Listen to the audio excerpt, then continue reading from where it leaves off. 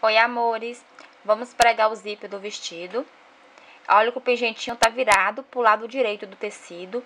Eu, eu coloco o... Começo com ele na parte de baixo, bem na onde que eu vou dobrar a barra. Eu vou alfinetar ele todinho, sem pegar a parte do forro. Bem na marcação que eu tinha feito do zíper, onde que eu quero o zíper.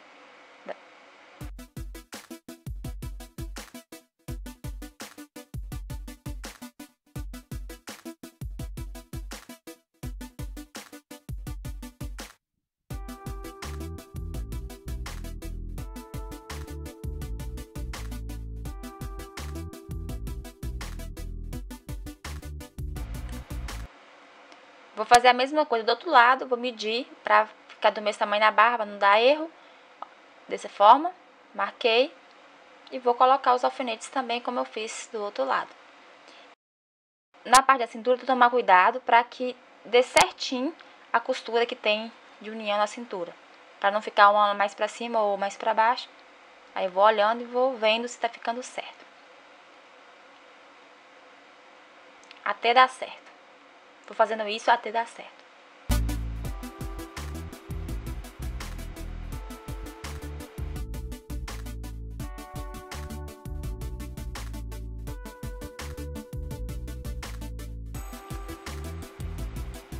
Agora sim.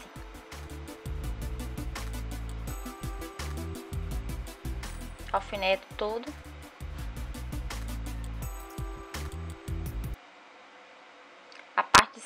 Dar certinho. Se tiver maior um lado que o outro, vai dar errado. Tem que desmanchar e consertar.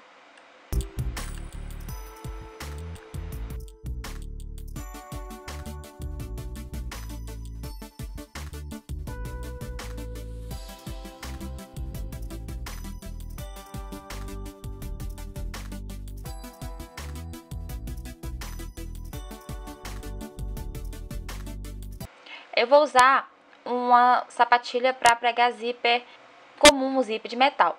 Esta, ela é a P363, se não me engano, mas só que ela, ela não prega direitinho. Tem uma outra que prega melhor, eu vou colocar para vocês na postagem no blog a foto. Esse eu estou usando provisoriamente, mas eu não gosto, vou mostrar para vocês que não fica bom. Aí eu começo a parte de cima, é, sempre arremato no começo da costura e vou até o final.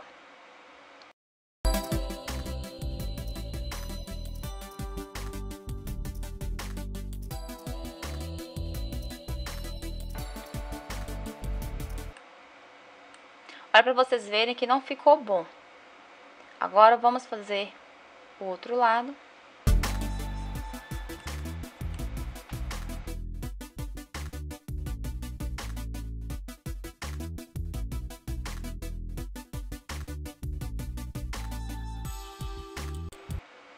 Ficou bem aberto, olha, eu quero mais junto.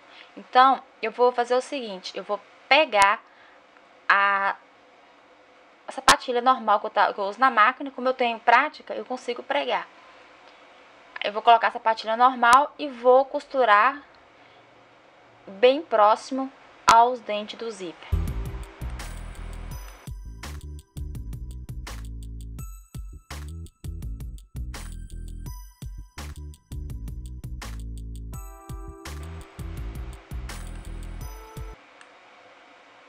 Ah, desse jeito que eu faço. Às vezes sai, eu volto e coloco de novo, bem próximo do zíper. Aí ele fica assim, bem mais juntinho.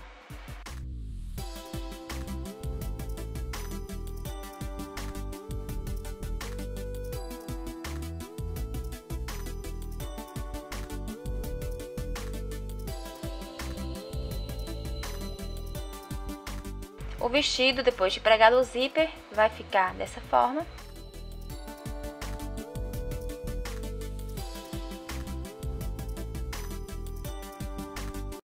Agora vamos fechar o forro. Eu pego a parte do zíper, dobro ele, assim, tá vendo? E bem na parte que tem a emenda do forro e do tecido vestido, né? Eu dobro bem na, bem na, bem, bem na, na emenda mesmo. Se você tiver dúvida, você coloca um alfinete e olha se tá certinho. Eu vou usar a sapatilha que eu usei, aquela primeira, porque pra pregar a parte do forro ela dá certo. Aí a peça vai ficar, quando pregar no forro dessa forma, vai ficar pra dentro da costura. Não vai ficar visível, vai ficar embutida. Eu vou fazer, no começo, eu começo costurando, é, eu mesmo rodando a alavanca para não correr o risco de quebrar a agulha devido aos dentes de metal é, do zíper. Aí eu vou até o final do zíper.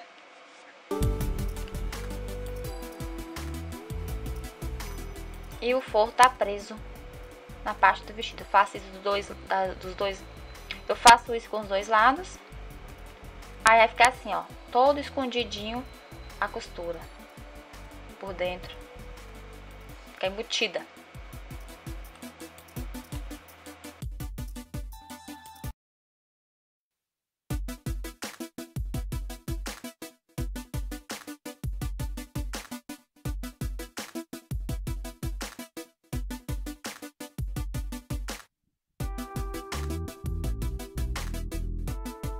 Eu vou, tá vendo que o forro tá do mesmo tamanho da parte de fora? Da parte do vestido? Então, o que eu vou fazer? Eu vou cortar o forro para ficar do, do comprimento que eu quero o vestido. Então, o excesso eu vou tirar ele, vou cortar.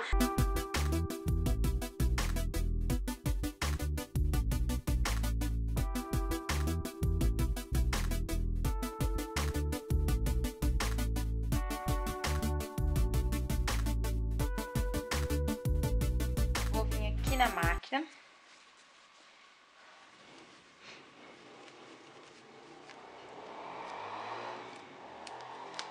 Costurar aqui. Aí, eu vou lá na máquina.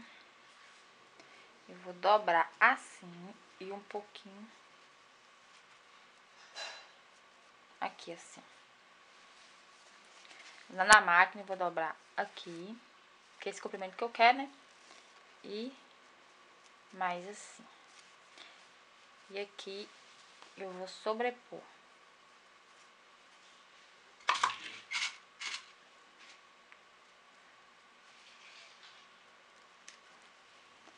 Vou mostrar pra vocês. Aí na hora de costurar, o forro vai ficar pra dentro, tá? E esse aqui fica pra cima. Tô toda fazer a mesma coisa. Aí a barra vai ficar assim.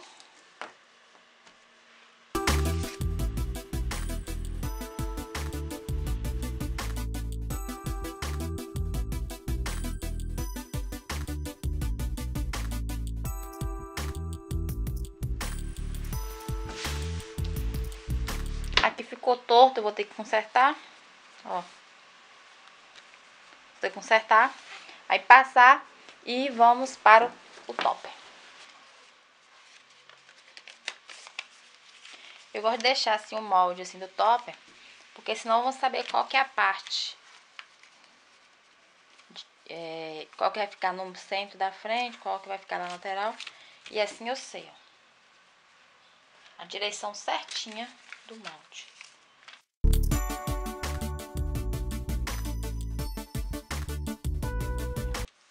Então, o 2 tá aqui, então ele vai ficar assim. Eu começo costurando pelo bojo, né? Veja que eu deixo ele certinho pra a união das costuras, com a numeração que vem no molde. Aí vou, eu começo costurando uma parte, pego duas peças e costuro. E vou fazendo isso nas outras peças e vou colocando ela, né, costurada no canto e de forma que eu vou saber qual que vai ser para a parte central da frente e qual que vai ficar na lateral. Porque os bojos são bem parecidos e pode confundir. Porque eu sobreponho um sobre o outro para não ter erro.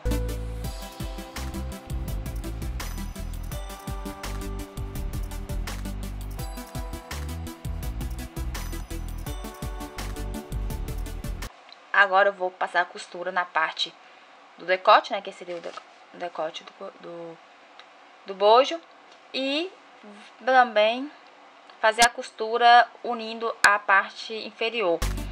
Uma costura na barra na parte, na, nas partes de cima, como vocês podem ver. É, a filmagem, eu estava filmando, não, não, eu estava filmando, mas a câmera não gravou.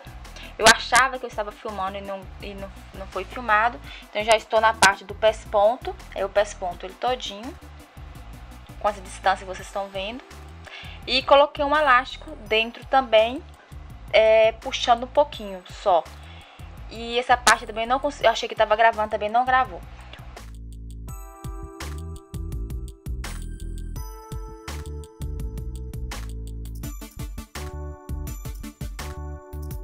O bojo, eu corto a pontinha dele. Eu corto essa pontinha e vou encaixando ele dentro do entre os, as duas partes, do forro e a parte de fora, dessa forma. Agora eu vou e passo uma costura contornando para que junte as duas partes. E, e, nesse caso não tá pegando o bojo porque o bojo é menor do que a parte do tecido. Então ele vai ficar solto dentro do tecido, entre as duas partes.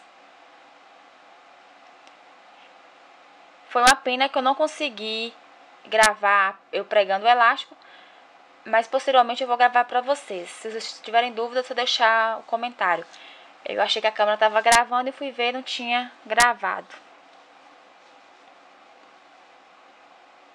Agora vamos pregar o bojo começando pela parte central ou pela parte lateral. Eu tentei costurar o bojo em cima da parte inferior, mas não deu certo. O melhor foi eu costurar, colocar a parte inferior em cima do bojo. Ficou melhor. Encaixou melhor. Se você não tem prática, você pode alfinetar, tá? E costura os dois bojos da mesma forma.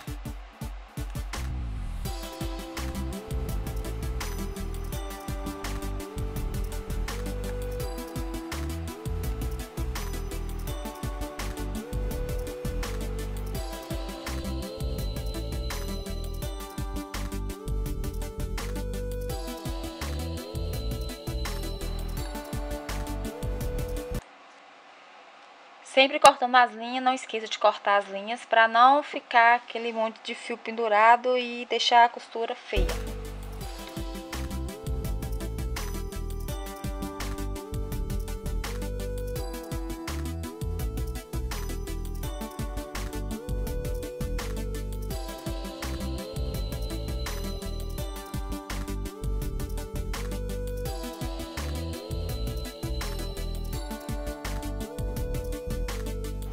Agora vamos pegar o viés de colocar barbatana, né, próprio para lingerie.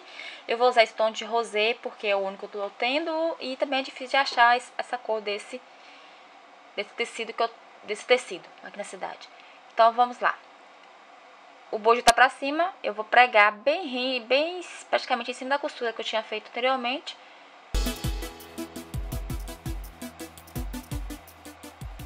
E vamos até o final.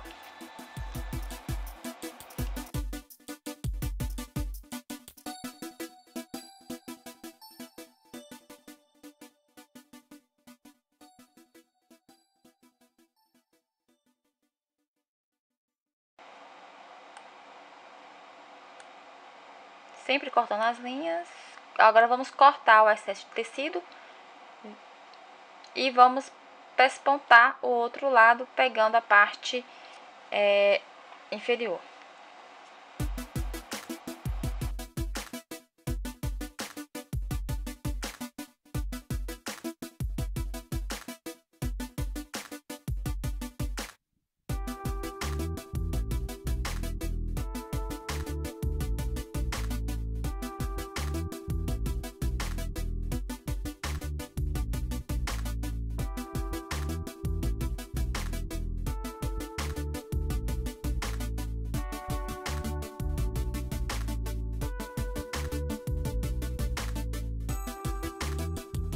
Agora pespontamos também no outro lado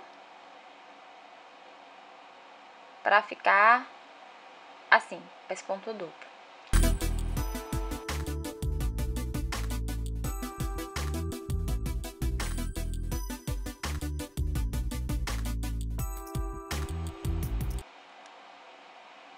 Agora vamos colocar a barbatana.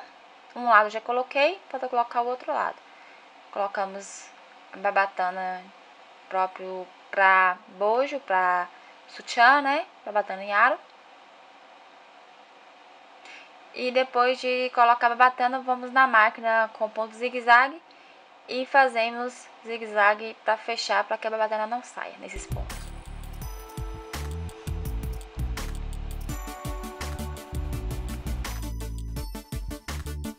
Meça ele para ver se está uma largura boa, aí você pode pregar o cochete que é vendido ao metro como é indicado na revista ou pregar cochetes como eu vou fazer aqui agora. Eu como eu não quero cortar o excesso, eu dobrei e estou alinhavando. Vou fazer esses alinhavos nos dois lados, mas primeiramente de um lado e vou pregar o cochete, quatro cochetes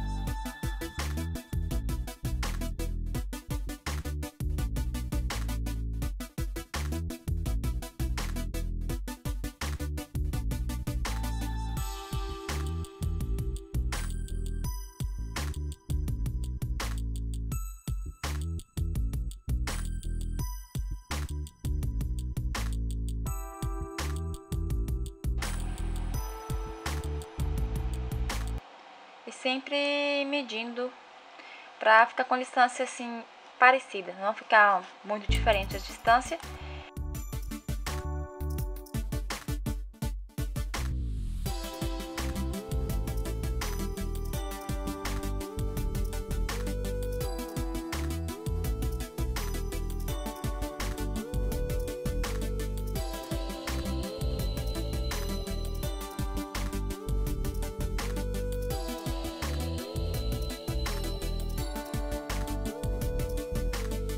Do outro lado, eu não vou pregar a argolinha do cochete.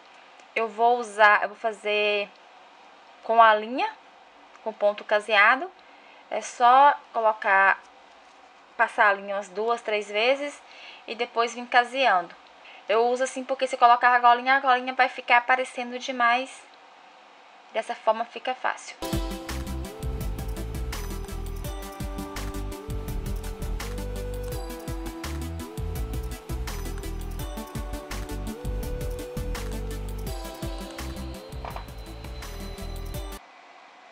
Eu espero que vocês tenham gostado.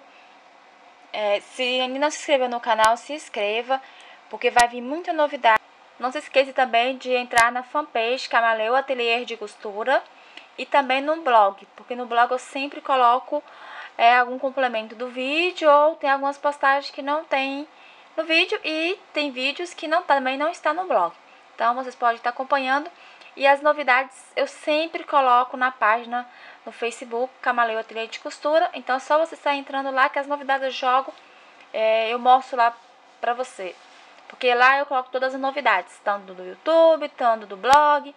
E novidades também que eu não coloco, né? Só coloco exclusivamente para quem está seguindo no Facebook. Beijos, até o próximo vídeo. Tchau!